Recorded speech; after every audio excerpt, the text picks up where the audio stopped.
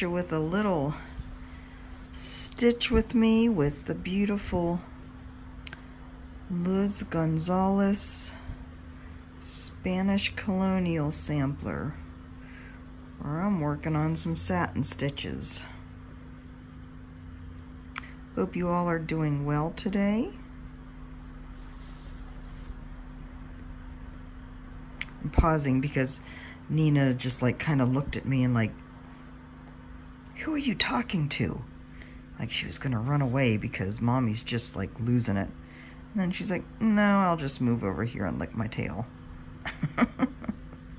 Anyways, hope you guys are all doing well on this Friday, whatever time of the day it is, or Saturday morning going into afternoon for our Aussie, New Zealand friends. People all over the world, wherever you are, I hope you're doing well. I am doing well here. It is a Friday morning still here on Oahu. It is 10.39 in the morning on Friday, February 8th. 71 degrees and fair. I hope you can't hear the um, the power washer people. I know I mentioned in the other video, in my last video, that they were doing our steps and landings outside. Now they've moved over. Today they're in the building across the road from us. And um, it's still loud enough that I had to shut the window so that I could do this. So I hope it isn't too disturbing. Luz Gonzalez. That is what I have done so far. For those who may not remember the pattern, this is it here. 1851 Spanish Colonial Reproduction Sampler. And I am working right up here on these satin stitch sections at the top. It is just such a striking piece. I am glad to be back to it. I spun the wheel this morning I worked the past two days on the Modern Folk Embroidery um, Four Seasons Quaker that was last year's Stitch Along. And it was time to move on today, so I spun the wheel this morning and was thrilled when Luz Gonzalez came up. So here we are. I am a little bit slower on this than usual. So in some parts I can use the sewing method, in some parts I can't, just depending on which direction I'm going. This is a 40 count linen from Victorian Motto Sampler Shop. And because of um, recording this, you know, the, the phone is in between me and my stitching, so I'm kind of, and because it is 40 count, I'm kind of having to look a little more carefully. Not that I don't always look carefully, but, you know, it's not as close to me, I guess, as it normally is, the fabric. I'm also actually sitting on my bed recording this. The my my phone holder device is hooked onto the clamped onto the headboard. Um, I'm in here because it's so much cooler. It was getting pretty warm out in the living room where I usually record. So I decided to come in here and the light was pretty good. The only problem was the, the noise coming in from the power washers across the street. But um, the light's a little bit less than what I usually stitch with, so that doesn't help. All right, let me, isn't that pretty? Gosh, I just love that. And the silk, the shine on it trying very hard not to muss with the stitches too much so that they don't lose their kind of silky, I don't want them to get that fuzzy look, that kind of a braided look. All right, so let me see, where am I going with this? I'm going all the way down and then build back up. All right, this little section here, once I get down to once I get down to the end there, I'm gonna have to pay a little more attention to the pattern. So, what is going on in your world? Not much here. It's Friday. Not sure if we're doing, well, we hope to get up to the North Shore again this weekend. Don't know exactly what we'll see yet. We're also hoping to get down to a car dealership. Mike has decided we're going to lease a car. And um, there is a car dealership down in Honolulu that has a pretty good deal on Honda's, leasing Honda 2018 models. Um, you know, this is the time of year when they're Actually, this is past the time of year when they're trying to get rid of the 2018s so that the, to make room for the 2019s. They probably already have the 2019s on their lots and they really want to get rid of the 2018s. So we hopefully will be able to take advantage of a deal. And by the time I talk to you next Tuesday, hopefully we will have a new car we will have two vehicles so I can start getting out and about doing stuff. Me look at this carefully. So this is going to go here. Oh, shoot, wait a second. Nope, I'm not supposed to go down that far. Hold on.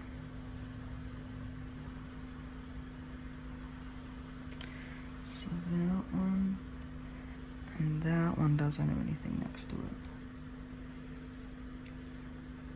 That one gets a four, this one gets a two. All of these stitches are over four fabric threads, except like down here, this needs to be a straight line here. So this thread actually needs to be coming up over here, if that makes sense. So let me undo that and redo that. So other than those things, I don't know that know that we really have anything special on the agenda this weekend. Besides just enjoying life on Hawaii and, you know, going to the grocery store. Which is one of those necessities of life. Grocery store, laundry, all that fun stuff. If you guys follow me on Instagram or on my Jan Hicks Creates Facebook page, you know that I got out the sewing machine yesterday and actually did some sewing. Woohoo! I practiced a bunch of straight line stitches for a little bit and then I hold on had to had to read and then I um, did a zigzag on the edge of some of my fabric, some of my projects. I will do more of that today. And then, hold on, let me, let me examine my pattern here for a second. I think this one is still going to be a straight edge. that doesn't look that way.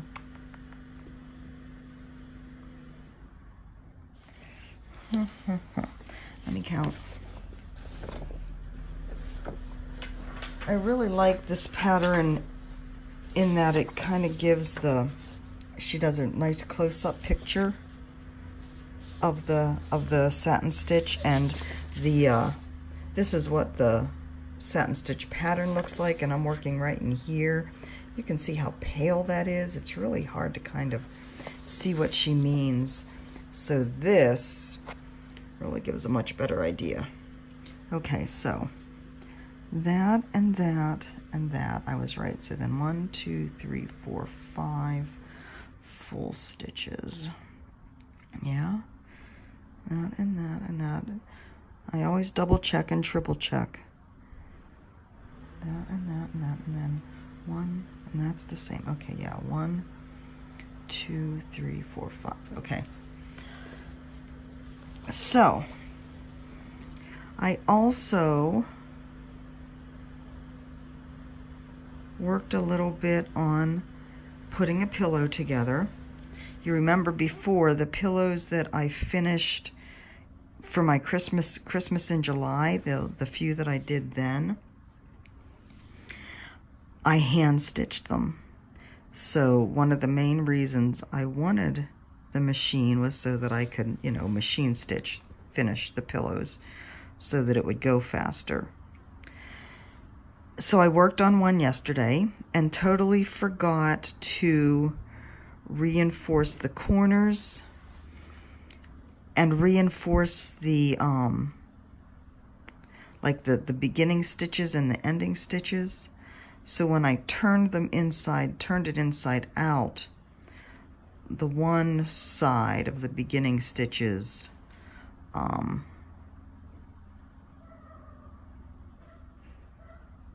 unraveled a bit. So that was a little frustrating. So that means I did I did um fill it with the polyfill a bit. I have to fill it up some more. But that means when I hand stitch, you know, that gap down at the bottom that you leave to fill it, to turn it and to fill it, when I hand stitch that, I'm going to have to like somehow catch that, hand stitch that corner too. Um, so that's going to be kind of a pain in the butt, but it's not going to be, I'm not going to worry about it too much because I am going to be putting an edging around that pillow, some kind of cording or something. I'll probably, I, I have a, a cord maker, one of those twister thingies. So I'll be making, um, making some kind of cording to put around that. And then I also hope to, I also hope to, um, sorry about that, to work on you that little filigree heart that I showed, I finished the stitching, um, that I showed in my last video. I also hope to put that together into a pillow today. That was up one too far, shoot. You know, it's just one linen thread up that I have to go. There we go. Um, and two over, so when you're reversing direction like that, it's kind of like, am I in the right place or aren't I? And that time I wasn't, but now I am. So anyways, I'm going hoping to get that little filigree heart pillow finished. Um, I have the backing picked out and the edging, and I'm going to put the edging on with beads silver beads. It'll kind of match the silver beads that are in bigger, bigger ones, size 8s, I think. But they'll match the crystal-lined ones that are in the kit. So I think that'll be cute. Hopefully that will go better. Um, like I said, I want to I want to zigzag stitch some more of my project fabric so that it is nicely held together. Hold on. One, two, three, four, five and a half. One, two, three, one, two, three, four, five and a half. I just have to fill in these stitches, but I don't think this length of floss is going to work. This length of silk, it's not going to make it. But we shall see. We'll go as far as we can. So I got an interesting comment, one a comment on um, one of these last videos of mine that I wanted to share with you and discuss. And I really wish we could discuss, um, you know, have a free-flowing discussion on here. That would be so cool. But one of my commenters said that she avoids hand-dyed fabrics because she's afraid that eventually down the road it will look um, dated. It will it will date itself just like like well she said like the geese in the 80s. You know when you see a geese pattern a pattern of um, geese you kind of think oh that's an 80s pattern. Um, she gets the same vibe from hand-dyed fabrics. And I thought that was rather interesting. Um, I had never heard that, that comment before, that kind of idea. And I think it's interesting and it's valid to a certain extent. I think there will be a time where certain of the hand-dyed fabrics will kind of give off that vibe. Like right now, there's kind of a, I think the more wild ones might do that. I don't think the kind of more gentler modeled ones will have that feeling because I think they I think they do have a kind of timeless feel to them. But I could see things like like right now, of course, because it's winter here in the northern hemisphere, um, ice dyeing and snow dyeing is kind of popular. You see a lot of people doing it, and it gives a really, really cool effect. But some of the fabrics are kind of wild. And it's it's some of those fabrics that, you know, they're absolutely beautiful. They're real works of art. But they're the kind you look at and think, well, what are you, what are the world, what in the world do you stitch on them, right? Um, how do you find something that you can still show off the fabric? How am I going to make it? You can still show off the fabric but still see the pattern. Oh boy, I have a stitch and a half left. Oh. Let's see, it's gonna come out of the eye. Just barely hanging on there.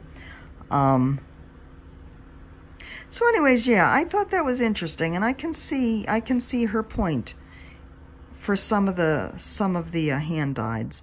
Does that mean I won't use them?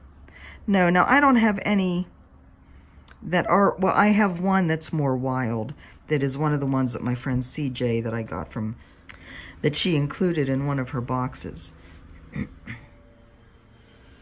Hoy vey. Sorry for the in and out and in and out. Um, it's something I had to take care of. Well, actually, I had to clean up after an annoying cat. I had to go and come back, and I had to take care of something else. So here I am again. I may be dodging out again for a second, but that little area is done. And doesn't that look so pretty? With the silk and the, the satin stitches. I just love that. Oh, gorgeous, gorgeous, gorgeous. So in the meantime, I ended that thread and stopped fighting with it and started it, the next section. So this one I'm going to attempt to do with the sewing method, just so it goes a little faster. Of course, by the time I eyeball where my needle has to go, I'm not sure it's actually any faster at all. But anyway, it's a good thought. Sorry, I just bounced you around a bit. Um, so anyways, yeah, I'm going to, I'm going to be getting some colorful fabric to, to play with, but I would love to know your thoughts on colorful fabric. What you think, you know, kind of think about that idea. And it, it might be the first time that some of you have really um, heard that stated. So I'd, I'd just kind of like to get a conversation going and, and get your ideas on it. Like I said, I think for the most part, any... I don't really go for heavily dyed fabric anyway. Um, I think it's gorgeous. But again, because it's so hard to um, find patterns that will work on it, I tend to go for more subtle modeling but some of the some of the other fabric, the the more wildly colored fabric, I think is gorgeous gorgeous enough to just frame and hang on the wall without any design on it. So yeah, let me know what you think. Let's see what else is happening. So yesterday Mike and I took a walk um, just down the road here in our little area. There's actually a little stream that runs over that way. Oh, and in, in addition to the um, to the power washers, I think we now have a weed whacker going. Nothing like having the place beautifully maintained, right? Who am I to complain? Um, but anyways, we took a walk and kind of there's a, a little park that runs along the stream. Um, and it was just a really, really pretty afternoon for that. And it, it kind of struck me again, you know, so much of the vegetation here. I used to be a huge gardener back in Maryland. I was very, very, very familiar with plants in the, and of course grew up in, Pitt, in the Pittsburgh area. So in, with plants in the zone six, zone seven, zone eight area, um, you know, that's what I grew up with. That's what I, I grew.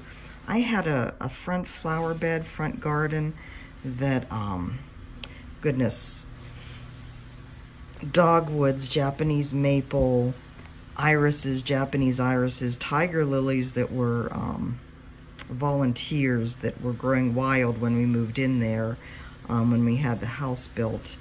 Um, bleeding hearts and crocuses and daft spring was always my favorite season. So I planted bulbs every autumn and just had all kinds of spring bulbs coming up in the spring. Loved it. Oh goodness, what else? Roses, of course. Peonies, love peonies. Clematis, we had a trellis, an archway over our sidewalk out front that had clematis growing up it.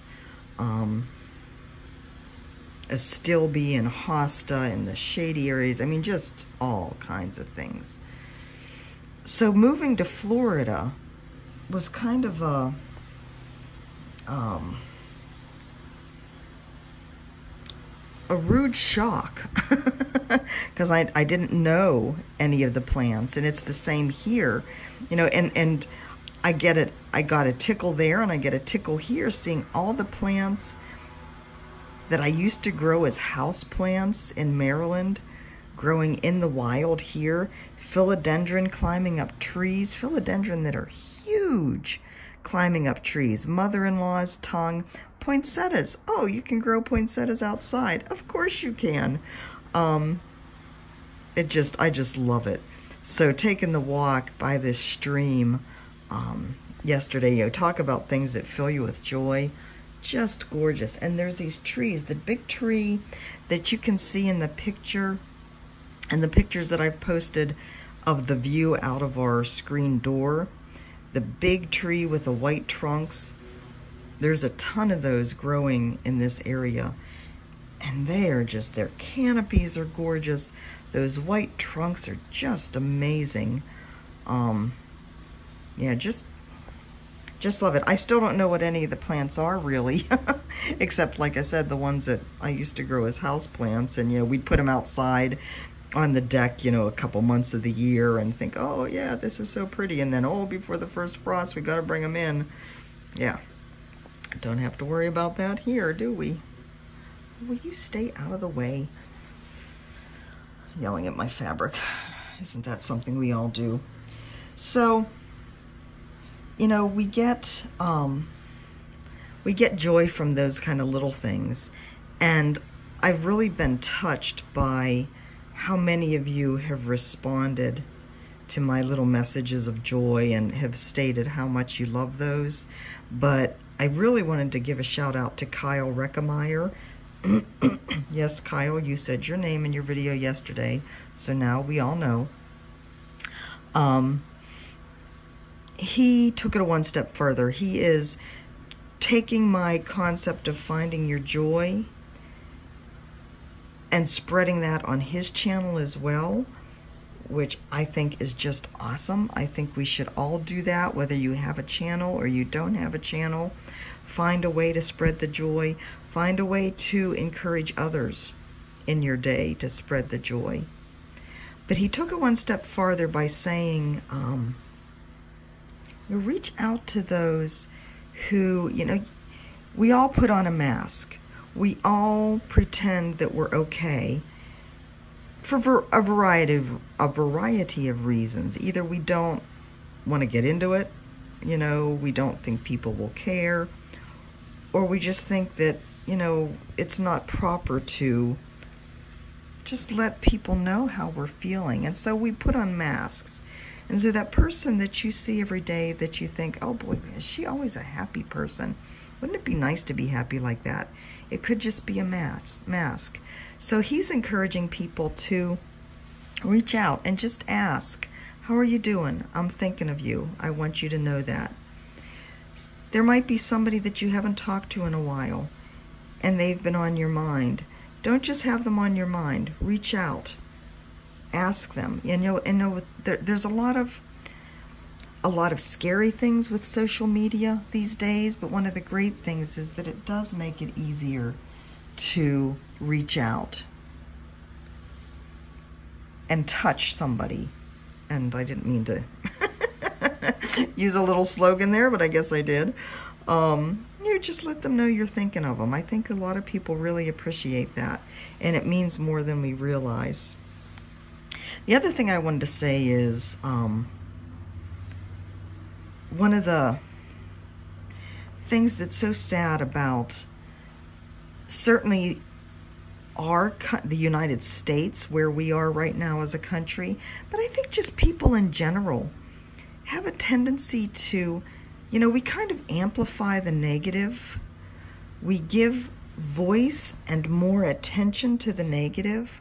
We're more likely to shout out the negative than we are the positive. Mike and I realized early on that we as a human species almost always think the worst of people. We don't even give a thought to, well, that person might be having a bad day. If somebody, you know, gives you a dirty look in a parking lot or takes your space or there's a little bit of road rage going on or, you know, anything like that where you, we, we automatically think, oh, the guy's a jerk. It could just be that something really bad happened.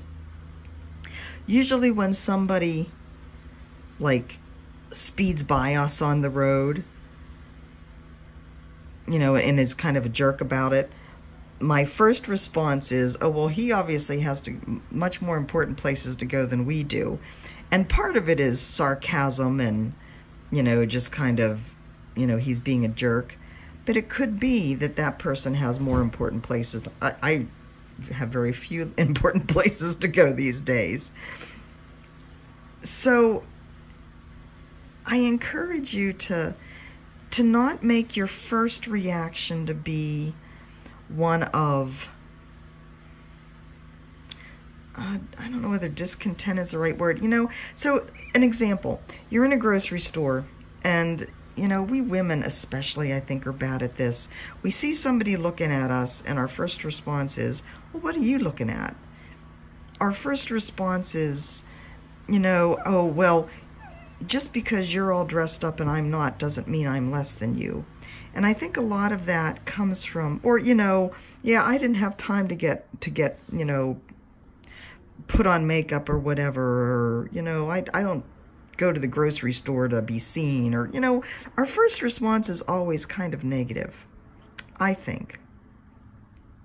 And I think a lot of that stems from our own perception of ourselves. But what if somebody's looking at you and they're saying, you know, they're not like looking down on you, but they're saying, boy, she looks really pulled together, or she looks really calm, or boy, I wish I could be that calm, cool, and collected when I'm out with my kids. Or, you know, you don't know what's going so through somebody else's mind. I get a lot of looks when I'm out, mostly because of my hair. I get a lot of compliments on my hair. But if I if I got upset every time I saw somebody giving me a look, well, you know, that that's not any way to live a life. So again, um, I don't, I don't know whether this is a bunny trail or not. It just strikes me though that, and like I said, Mike and I have discussed this a lot in our in our relationship when we first started, um, how people think the worst of each other. That's our first reaction. And I, I do think it's human nature and it's rather sad. And on a totally different bunny trail, this is the back of the, the stitching. I think I have some some threads here that are coming out of their little secured place that I'm going to have to fix. And that's probably from me having the fabric rolled up like this backwards with my fingers kind of on it. I'm going to have to be aware when I'm securing my ends that I kind of do it more than I normally would. Talk about a totally different topic than we have been talking about. That's okay. Conversations ramble, ramble hither and yon. Speaking of conversations rambling hither and yon. Hold on one second. So anyway, I had to cut away again. Sorry about that. I know for you it was just like off on, or actually just transition in between shots.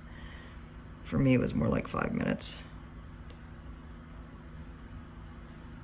And I don't even remember what I was talking about. One thing I did want to mention, though, and ask your prayers and positive thoughts for, sorry, keep bumping you. Gah. Um, is for my father-in-law. He has been having some health, health issues. He has been into and out of the emergency room at Mayo Clinic in Scottsdale, Arizona. Um, very weak, out of breath, not able to do anything like even walking from the bed to bedroom to the bathroom has made him out of breath and, and weak and um, they've ruled out pretty much everything. you know, heart attack, stroke, embolism, um, anything pulmonary, um, uh, bleed with from blood thinners. Um, you know, they they run all kinds of tests and um, he's back home again after his latest bout in the emergency room. He will be going back in Tuesday. They did lower GI. He'll be going back in Tuesday, I think, for tests on upper GI. They just can't find out what the problem is. So, um, my mother-in-law is having to drive back and forth from Surprise, Arizona to Scottsdale, which is um, a good hour drive without traffic. But it means she has to drive like through Phoenix. And um, that, that's a lot for her to drive. She's 86 years old. Sharp as a tack, but still that's a lot. And we're, we're pretty worried about both of them. So if you would keep them in your thoughts for the doctors to find out what's wrong and get it fixed, um, and for safe travels all the time. There is apparently a hotel that family members can stay in over on the grounds of the of the Mayo Clinic, but it's like $400 a night. That's just insane. So she stayed there a couple nights when she was too tired to drive back, but that's just, that's a lot of money to be putting out. So anyways, keep them in your thoughts if you wouldn't mind. We are, Mike and I are expecting that the call could come at any time that we have to make a trip to Phoenix. Um, hopefully not because of bad news, um, but just to, to help them with whatever they need help with. So Anyways, um, in the meantime, I think that's about all from here. I'm sorry this was so chopped up. I felt very disorganized and lots of interruptions and wasn't really able to give Luz the attention she deserves. Though she will get it for the next couple couple days. So, until, let's see, probably next Tuesday, unless something comes up before then. I will talk to you soon. I hope you guys have a wonderful weekend. Take care and spread that joy. Love you guys. Bye-bye.